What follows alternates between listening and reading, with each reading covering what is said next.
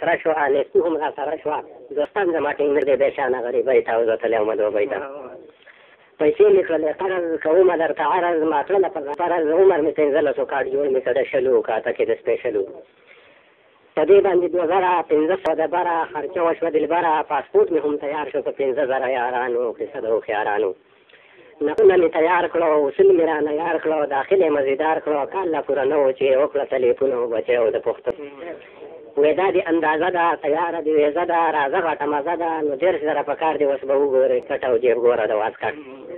بل بنده چې وایي نو دېرش زره دا نورې د ویل چې ته به ګورې ما ویل چې ما رورې راویلې کوې زه سره در کوم به یې په زله او خو نه شم اول دا هر څه شو تیار او ټکټ مزیدار او چې اوکه شو بمبار او روټۍ به یې کولې چې مې څوک رشته دار او چایونه مزیدار ورځ راغله د تللو جهاز ته د ختلو کسان را سره خپلو وختو پلینکوټ ته پېښور ته راسه لاړه او زه په موبي ولاړم نو دې بل باندې وایي جهاز کې شومه تور او نه یارو نه مې رور او زه ومه کروکور او اوس شومه دوبۍ کې ویاران راله راغلي وو ولاړو دم ختلي راوستي يې ټکسيانو پوره څلور کسانو دوبۍ کې مې دوستانو نو سټارټ شو د چابۍ د سټارټ شو بې دکينه لاس يې وروړله چابۍ ته او زه تللی وم دوبۍ ته یو دوه ورځې مېلمه شوم چې کله خدمه شوم یو باغ ته ورسېلمه شوم اووه سوه تنخوا مې وکړه او مې هلته کار او روبار ستغه پار یو نیم کال مې کتېر او په عذاب شوم ښه ډېر وطن شورا نه یېر او وېزه مې لا سر ونه مې ختم که ټیکټ او خپه وم زړه کې پټ ارزونه مې په سر و، بچي مې در په در و، په کلي کې او ته و، تنخوا به زما د ليکې د ايله د خرڅ خوراک او قرضه پاتې ولاک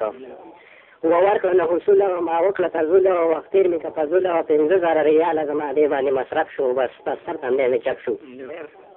کپلۍ کې شوم نوکر و، په کار هم برابر و، دياړي و سر په سر و، د کار سره شروع مې کړه، په ګاړو کې ټرايي او غوږۍ د وغايي.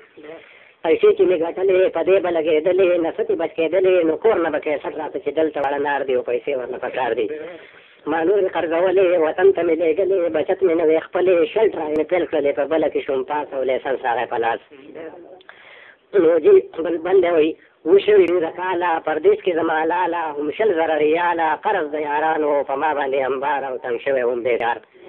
بنجو مې که د کلي يارانو مې ويلي وي نورې به دې خپلې ټکټ به درله درکړو د سامان سره دې وکړه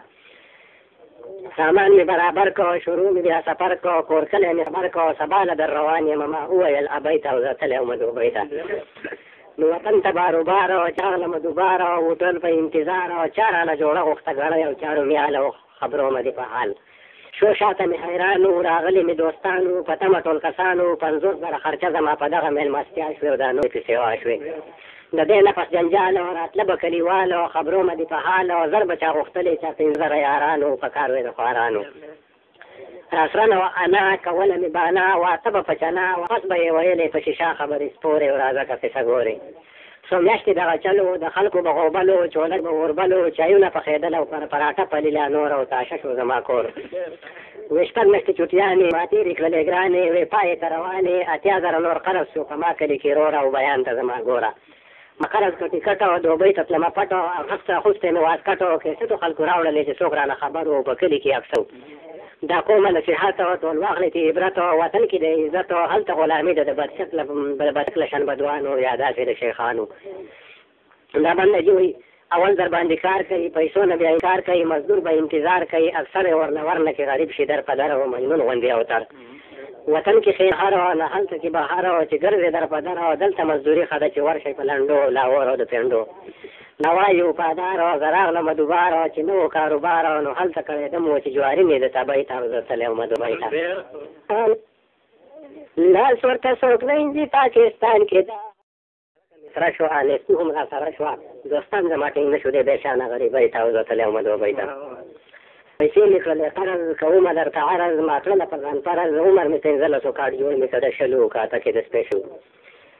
په دې باندې دوه زره پنځه سوه دبره خرچه وشوه دلبره پاسپورټ مې هم تیار شو په پنځ زره یارانو قصه د هوښیارانو نقلونه مې تیار کړو اصول مې رانه یار کړو داخل یې مزیدار کړو کال لا پوره نه و چې یې وکړه تلیفون او بچی او د پښتون وې دا دې اندازه ده تیاره دې ویزه ده راځه غټه مزه ده نو دېرش زره په کار دې اوس به وګورئ ټکټ او جیب ګوره د واسکټ بل بنده چې وایي نو دېرش زره دا نور یې د ویل چې ته به ګورې ما ویل چې زما رور یې راویلېږه وې زه سره در کوم به یې په زه لو خو نه شو اول دا هر څه شو تیار او ټکټ هم مزیدار او چې اوکه شو بمبار او روټۍ به یې کولې چې مې څوک رشته دار او چایونه مزیدار